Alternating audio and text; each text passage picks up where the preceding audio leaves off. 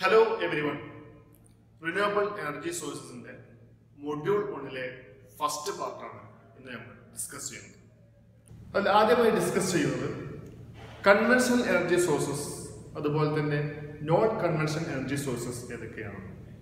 Conventional energy sources നമ്മൾ കാലങ്ങളായി നമ്മൾ ഉപയോഗിച്ചുകൊണ്ടിരിക്കുന്ന എനർജി സോഴ്സാണ് കൺവെൻഷണൽ എനർജി സോഴ്സസ് അത് നമുക്ക് പറയാൻ പറ്റും. Non renewable energy sources example പറയുകയാണെങ്കിൽ കോൾ അതുപോലെ തന്നെ petroleum products natural gas nuclear energy ഇതെല്ലാം കൺവെൻഷണൽ എനർജീസാണ് അതുപോലെ തന്നെ കൺവെൻഷണൽ എനർജി അല്ലെങ്കിൽ നോൺ റിന്യൂവബിൾ എനർജി സോഴ്സ് അടുത്തത് non conventional energy sources non conventional energy sources അല്ലെങ്കിൽ റിന്യൂവബിൾ എനർജി സോഴ്സസ് അതിൽ എക്സാമ്പിളാണ് solar energy tidal energy wind energy ocean thermal energy geothermal energy piezo energy biogas fuel cells ഇത്രയാണ് non renewable energy sources renewable energy sources അല്ലെങ്കിൽ non conventional energy sources അത് അങ്ങോട്ടും ഇങ്ങോട്ടും മാറാൻ പാടില്ല. കൺവെൻഷണൽ എനർജി എന്ന് പറഞ്ഞാൽ നോൺ റിന്യൂവബിൾ ആണ്. നോൺ കൺവെൻഷണൽ എനർജി സോഴ്സസ് എന്ന് പറഞ്ഞാൽ റിന്യൂവബിൾ ആണ്. അങ്ങോട്ടും ഇങ്ങോട്ടും മാറത്ത് നമ്മൾ എപ്പോഴും എക്സാം ചോദിക്കുന്നതാണ്. ഏതെങ്കിലും ഇനി ഫോർ എഴുതാൻ അല്ലെങ്കിൽ ഇനി ടു ഇനി ത്രീ അങ്ങനത്തെ സിമ്പിൾ ക്വസ്റ്റ്യൻസ് ചോദിക്കുന്ന ഒരു ഭാഗമാണ് ഈ മേഖല. ഇനി അടുത്ത ടോപ്പിക് ഇനി നമുക്ക് different different types of renewable sources നമുക്ക് ഡിസ്കസ് ചെയ്യും. അതിൽ ആദ്യം നമ്മൾ ഡിസ്കസ് ചെയ്യുന്ന പോർഷനാണ് ബയോഗ്യാസ് അല്ലെങ്കിൽ ബയോമാസ് എന്താണ് ബയോഗ്യാസ്? എന്താണ് ബയോമാസ് ബയോമാസ്. ബയോമാസ് എന്നാൽ it is the raw material used for the production of biogas biogas produce ചെയ്യാൻ വേണ്ട റോ മെറ്റീരിയൽസിന് പറഞ്ഞ പേരാണ് ബയോമാസ്. ആ വേർഡ് തന്നെ ഉണ്ട് ബയോമാസ്. എക്സാമ്പിൾ ആണ് agriculture waste manure municipal waste sewage and food waste ഇനി അടുത്ത് ബയോഗ്യാസ് ആണ് ബയോഗ്യാസ് എന്ന് പറഞ്ഞാൽ ബയോമാസ് നിന്ന് it is formed from biomass biomass നിന്ന് പ്രൊഡ്യൂസ് ചെയ്യുന്നതാണ് biogas it is primarily gases ആണ്. അതെന്തൊക്കെയായിരിക്കും മീതെയിന് കാർബൺ ഡയോക്സൈഡ് അതുപോലെ തന്നെ ഹൈഡ്രജൻ സൾഫൈഡ് ഈ സാധനങ്ങളാണ് ബയോഗ്യാസിൽ ഉണ്ടാവുക. അതിന്റെ ഒരു ഫിഗറാണ് ഇവിടെ കാണിച്ചിട്ടുള്ളത്. അത് പറഞ്ഞാണ് ഗ്യാസ് കൺവേർഷൻ ടെക്നോളജീസ് നാല് ടെക്നോളജീസ് ആണുള്ളത്. ഫസ്റ്റത്താണ് thermal conversion second one thermochemical conversion third one biochemical conversion fourth one chemical conversion അത് ഓരോന്നും നമുക്കൊന്ന് വിശദമായി നോക്കാം.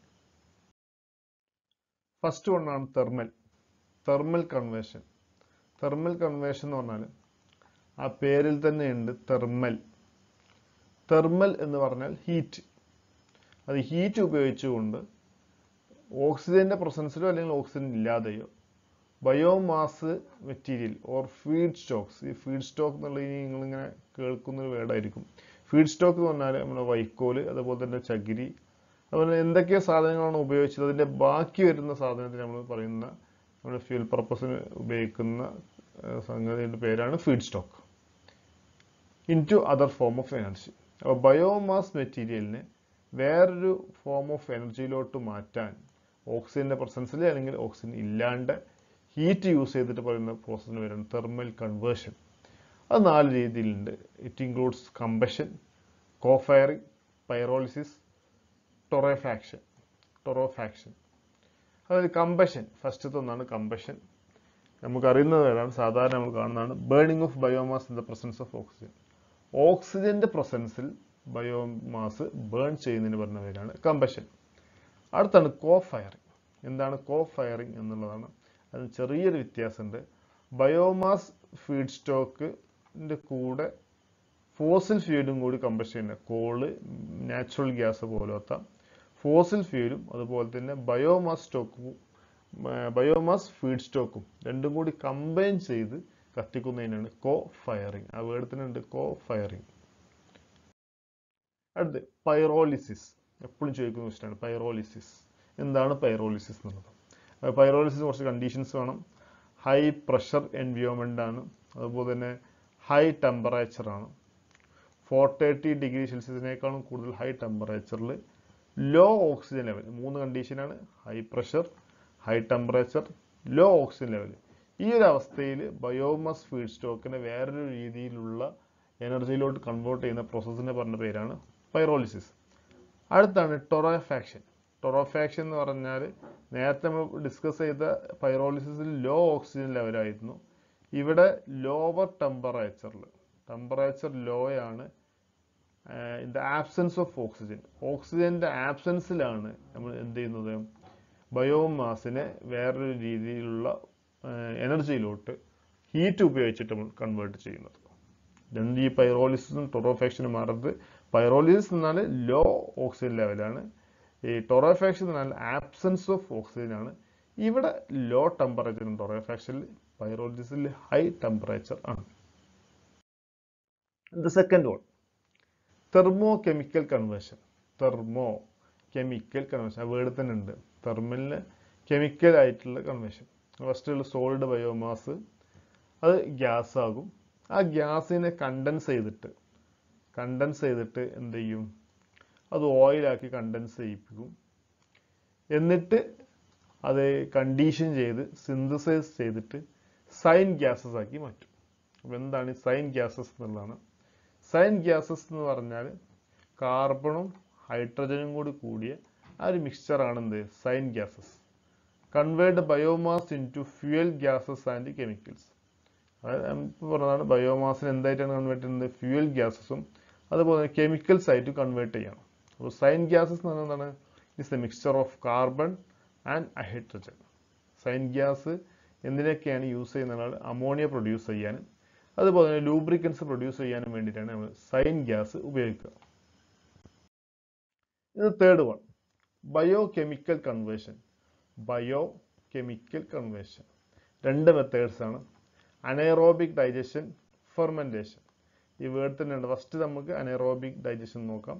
അനൈറോബിക് അനൈറോബിക് എന്ന് പറഞ്ഞാൽ ആ വേർഡ് തന്നെ ഉണ്ട് ഓക്സിജൻ ഇല്ലാത്ത അവസ്ഥയിൽ. ഫ്രീ ഓക്സിജൻ ഫ്രീ എൻവയോൺമെന്റിൽ മൈക്രോ ഓർഗാനിസം യൂസ് ചെയ്തിട്ട് ഓർഗാനിക് മെറ്റീരിയലിനെ ബ്രേക്ക് ഡൗൺ ചെയ്യുന്ന ആ ഒരു ഡൈജഷന് പറഞ്ഞ പേരാണ് അനൈറോബിക് ഡൈജഷൻ ഈ ഒരു ഫിഗറും കൂടെ അതിന് കൂടെ പഠിക്കണം. കാർബോഹൈഡ്രേറ്റ്സ് അല്ലെങ്കിൽ ബയോമാസ് ബാക്ടീരിയയും അതുപോലെ തന്നെ ഓക്സിജൻ ഇല്ലാത്ത അവസ്ഥയിൽ ബാക്ടീരിയ ഉപയോഗിച്ചിട്ട് എന്ത് ചെയ്യും?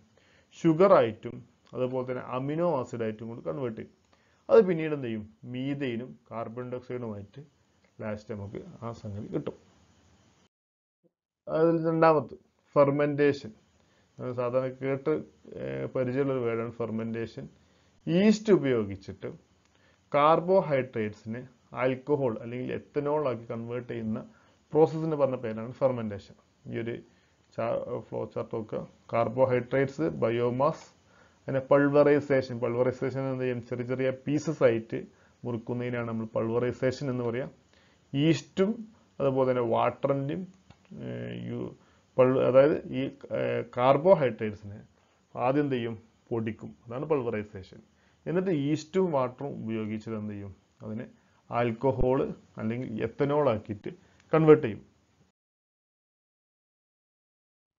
Fourth one chemical conversion chemical കൺവേർഷനിലെ ഒരു വേർഡാണ് ഇത് ഓർത്തിരിക്കുന്ന ഒരു വേർഡാണ് ട്രാൻസെസ്റ്ററിഫിക്കേഷൻ കെമിക്കൽ കൺവേർഷന്റെ കോമൺ മോസ്റ്റ് കോമൺ ഫോമാണ് ട്രാൻസെസ്റ്ററിഫിക്കേഷൻ ട്രാൻസെസ്റ്ററിഫിക്കേഷൻ എന്ന് പറഞ്ഞാൽ ഒരു കെമിക്കൽ റിയാക്ഷനാണ് അതായത് ഓയിൽസ് ഫാറ്റി ഗ്രീസ് ഇതിന്റെ എല്ലാം ഫാറ്റി ആസിഡ്സ് ഫാറ്റി ആസിഡ്സ് എന്ത് ചെയ്യും? ആൽക്കഹോളിലോട്ട് ബോണ്ട് ചെയ്യുന്ന ഒരു റിയാക്ഷന് വന്ന പേരാണ് ട്രാൻസെസ്റ്ററിഫിക്കേഷൻ ഈ ട്രാൻസെസ്റ്ററിഫിക്കേഷൻ ചെയ്തു കഴിഞ്ഞാൽ അവസാനം കിട്ടുന്ന എൻഡ് പ്രൊഡക്റ്റ് എന്നുള്ളത് എന്തായിരിക്കും? സാധാരണ ഇതിൽ ബയോ ഡീസൽ ആയിരിക്കും.